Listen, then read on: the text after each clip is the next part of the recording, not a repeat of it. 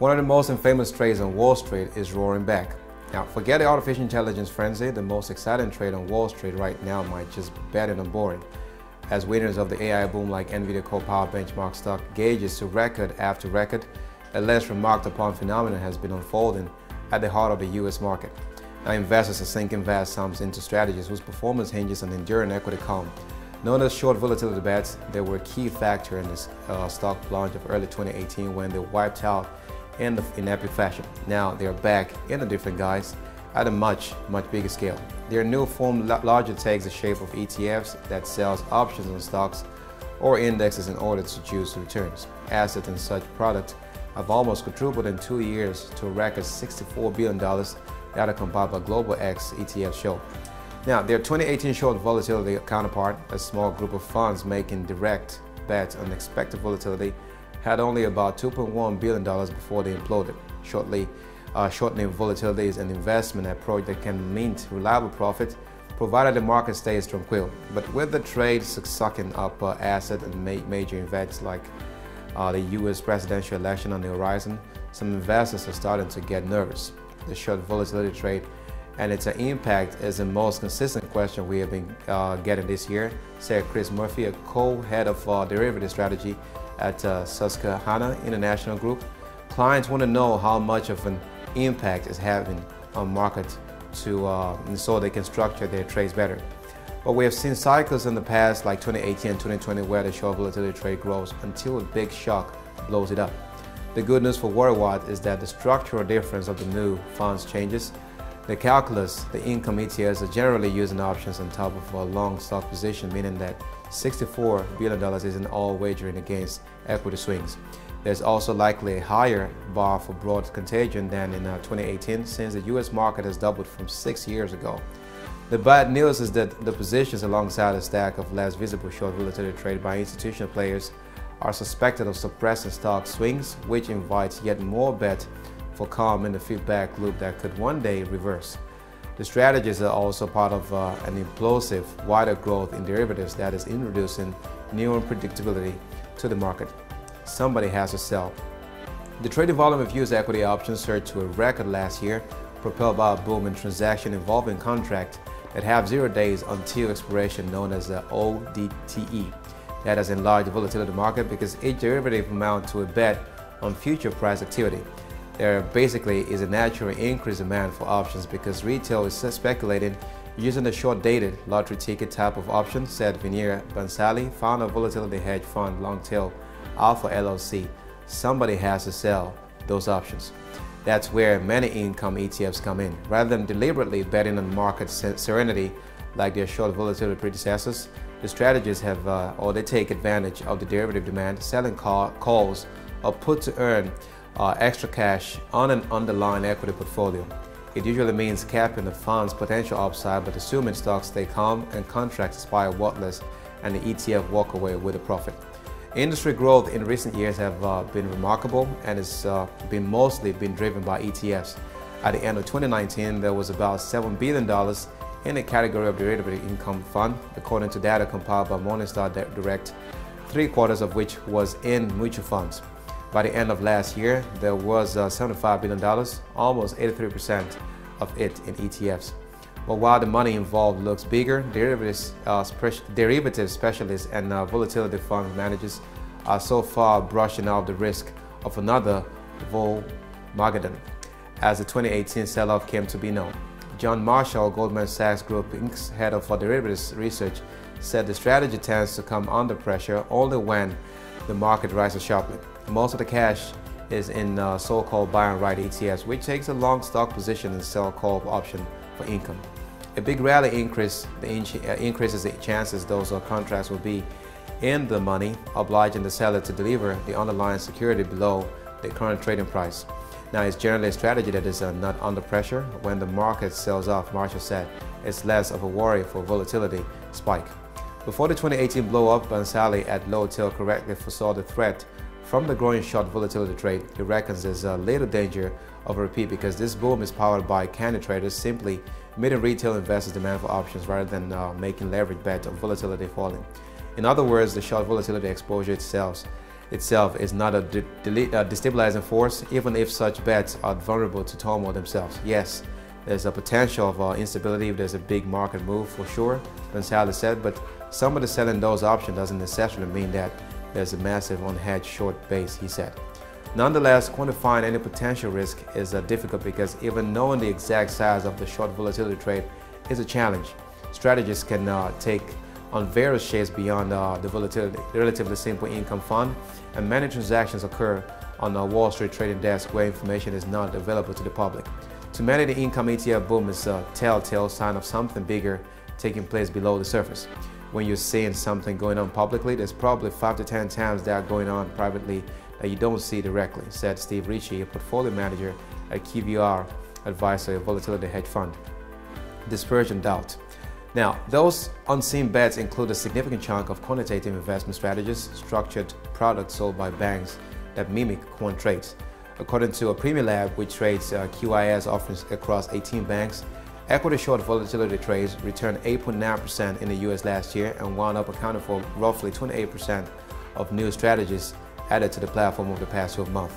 Their notional value is unknown, but consultancy Albourne Partners estimated last year that QIS trade overall command about $370 billion. Hedge funds uh, gaming relative volatility are also feeding the boom. One of the most notorious short volatility bets is an exotic, exotic option strategy known as the dispersion trade. Employing various complex options overlays, it amounts to being long volatility in a basket of stocks while wagering against the swings of an index like the S&P 500. To work, it needs a broader market to stay subdued or at least experience less turbulence than the individual shares. With the S&P 500 steadily going up while stocks return diverge widely in recent years, the strategy has flourished. Once again, it's difficult to measure the size of the trade, but it's, it's popular enough that CBOE Global Market plans to list a future product tied to the CBOE S&P 500 Dispersion Index this year. That rise in popularity combined with the leverage and a lack of transparency has prompted Kevin Muir of the MacroTourist blog to warn that a market sell-off could upset the, the trade, forcing an unwinding of positions that could further exacerbate the rout. It worries me because the dispersion trade has all the hallmark of a crisis in the making. Muir wrote, it's exactly the sort of uh, sophisticated, higher leverage, leverage trade where someone or everyone assumes those guys are math wheezes we don't need to worry about them blowing up because they are hedged, he said.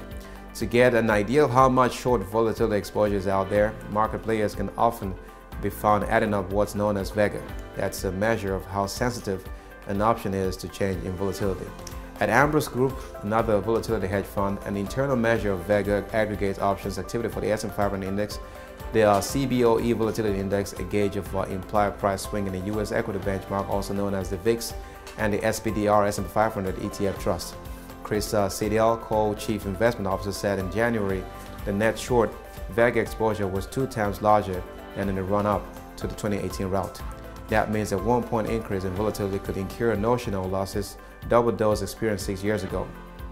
The big worry, panic investors unwinding positions as their losses mount could uh, fuel more volatility, which causes more losses and more selling.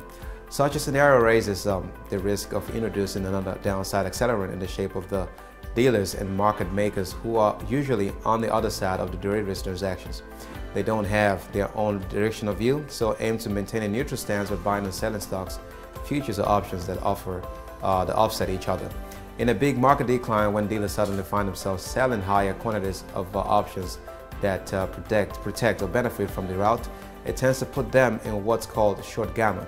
The dynamics are complex, but the upshot is that to neutralize the exposure, dealers would have to uh, sell into the downdraft, compounding the drop. For now, the short volatility trades proliferation has been proposed as one reason why the VIX or VIX has stayed eerily low in the past year despite two ongoing major geopolitical conflicts and the Federal Reserve's most aggressive monetary tightening in decades. That's because in current conditions, dealers are in a long gamma position that generally sees them buying when stocks go down and selling when stocks when they go up, dampening swings. Now, in uh, its largest, latest quarterly review published last week, the Bank for International Settlement said that dynamic was the likely reason behind the compression of volatility given the boom in uh, strategies that act out income from selling options. The meteoric rise of uh, yield enhanced structured products linked to the S&P 500 over the last two years has gone hand in hand with a drop of VIX over the same period, researchers wrote. There are good alternative reasons for the calm. The stock market has steadily ground higher as uh, neither the Fed nor the U.S. economy delivered any major shocks over the past year. It's also possible that with so many bets now placed using the short-dated options, the VIX no longer captures all the actions since it is uh, calculated using contracts about one month out. Yet QVR advisors also see the footprint of the boom in volatility selling. The degree of swings priced into S&P 500 options, so-called implied volatility, has drifted lower over the years versus how much the index actually moves around its uh, data show. The theory is that money managers flooding the market with contracts to generate income are putting a lead on the implied volatility, which after all is effectively a gauge of the cost of options. The hedge fund has uh, recently launched a strategy seeking to take advantage of cheap derivatives that benefit from large swings in the S&P 500, whether up or down. Post-pandemic, we've seen fundamental and technical reasons for volatility suppression, said Amy Wu Silverman, head of derivatives strategy at RBC Capital Market. While I think that while I think that continues, it becomes more and more difficult to be uh, short volatility from here. Plenty of macro factors exist with uh, the potential to disrupt the stock market's steady march higher, including the ongoing war in Ukraine and Gaza, lingering inflation, and the American elections. And while volatility selling strategies have uh, provided investors with gains historically, they have a reputation for their role in compounding wealth. The most famous episode took place in February 2018 when the downturn in the S&P 500 uh, sparked a surge in the VIX, wiping out billions of dollars in trades betting against volatility that had built up during years of relative calm.